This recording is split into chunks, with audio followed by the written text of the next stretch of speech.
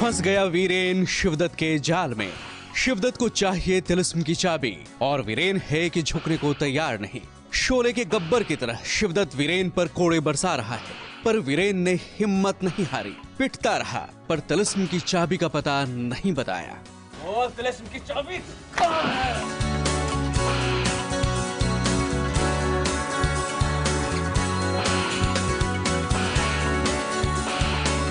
लेकिन पीटने और पिटने दोनों के लिए ताकत चाहिए। और इसलिए शिवदत्त ने इस सीन से पहले एनर्जी ड्रिंक का लिया सहारा। खुद भी पिया और वीरेन को भी पिलाया।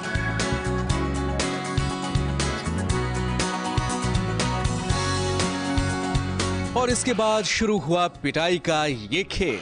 और जब ये सीन फिल्माया जा रहा था, तब हीरोइन जूस पीने में व्यस्त थी। हम लोग एक्चुअली हम लोग ऑफ़ द कैमरा काफ़ी अच्छे दोस्त हैं। आप लोग अगर जो स्क्रीन पे देखते हैं वैसा होता नहीं है। हम लोग काफ़ी मज़ाक भी करते हैं रियल में। इनफैक्ट हम लोग सब मिलके लड़कियों का बड़ा मज़ाक उड़ाते और हैं। वो काफ़ी फनी भी है। अंकित इज़ क्वाइट फनी तो हम लोग वही मज़ा उड़ा रहे थे कि ये जो लड़कियाँ अभी आएँगी जब रुकती हैं तो इतनी मिट्टी उछालती हैं कि उतना चाबुक से नहीं मरे जितना मिट्टी खा के मर गए। तो हम लोग वही हंस रहे थे। कोई घोड़े हम आते तो मिट्टी कौन सी उड़ती आप जरा नीचे पैन कीजिए। ये जो पूरी चादर है इनके पीछे ये जो पूरी चादर है जब ये रुकती हैं आके तो कितनी मिट्टी उड़ती है इनको शायद पता नहीं है। और हाँ शिवदत्त के बाद चंद्रकांता ने भी घोड़े पर हाथ आजमाया।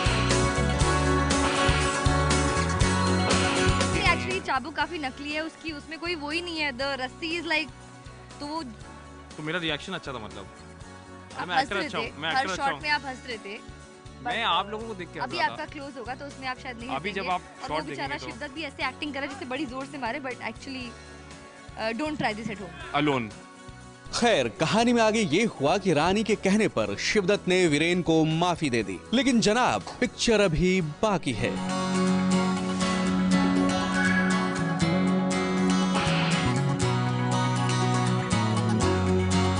मुंबई से वंदना शुक्ला और स्नेहा शर्मा मिश्रा के साथ एबीपी न्यूज़ रिपोर्ट